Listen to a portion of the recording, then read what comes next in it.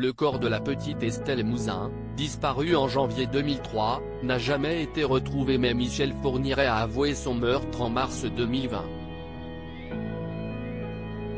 Longtemps couvert par son épouse, Monique Olivier, qui lui servait d'alibi, cette dernière avait fini par révéler la vérité aux enquêteurs un an plus tôt. Aujourd'hui âgé de 74 ans et déjà condamné à la réclusion à perpétuité pour complicité de quatre meurtres et d'un viol en réunion commis par le tueur en série, puis à 20 ans de réclusion pour un cinquième meurtre, Monique Olivier va de nouveau se confronter à un juge, d'après les informations obtenues par le Parisien. Nos confrères ont indiqué que la juge d'instruction de Nanterre, Sabine Kerry, a décidé ce vendredi 23 juin de renvoyer la septuagénaire devant la cour d'assises des Hauts-de-Seine pour complicité dans l'enlèvement de la fillette de 9 ans. Le parquet a ajouté que ce nouveau procès concernera aussi l'enlèvement et le meurtre de Marie-Angèle Domès en 1988, dont le corps n'a pas été retrouvé, et de la Britannique Johanna Parrish, tuée en 1990 et dont le corps avait été retrouvé quelques mois plus tard. Michel Fourniret avait avoué ses meurtres en février 2018. Comme ce dernier est décédé en mai 2021, sa veuve est la seule mise en cause dans ces trois calls de case. La vérité judiciaire est importante pour les familles de victimes.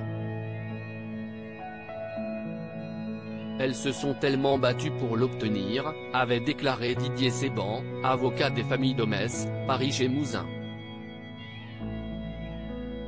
Pour l'heure, le parquet n'a pas encore révélé la date du procès de Monique Olivier. BFM Télévision ajoute qu'il s'agira du premier procès du pôle du tribunal judiciaire de Nanterre dédié aux affaires non élucidées. Pour rappel, les investigations de ces trois affaires ont été clôturées en février dernier.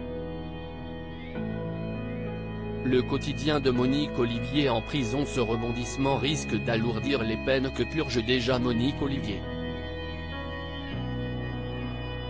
La mère de Céline Fourniret avait fait l'objet d'une docu-série sur Netflix intitulée L'affaire Fourniret, dans la tête de Monique Olivier, sortie sur la plateforme en mars dernier.